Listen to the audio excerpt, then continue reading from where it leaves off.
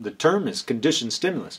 A conditioned stimulus, also known as a CS, is a stimulus that acquires its conditioning by pairing it with an unconditioned stimulus. In other words, it started out as neutral, a neutral stimulus, and means nothing to the organism until you pair it with an unconditioned stimulus, and once you pair it with an unconditioned stimulus, it becomes conditioned. However, you would need to do that multiple times in order for the stimulus to become conditioned. So, the moment that we take a neutral stimulus and pair it with a conditioned stimulus, sorry, the moment that we take a neutral stimulus and pair it with an unconditioned stimulus, it immediately becomes conditioned. However, that's not really true. So, anyway, it's just a bunch of bullshit. The whole point being that you take a stimulus and have it neutral, you pair it with an unconditioned stimulus, such as something like that, and the end result is is, that whatever I got paired with, that becomes a conditioned stimulus. So at this point, the camera scares the hell out of me. Why? Because I just hit myself in the head, which is an unconditioned stimulus, and I was staring right into the camera.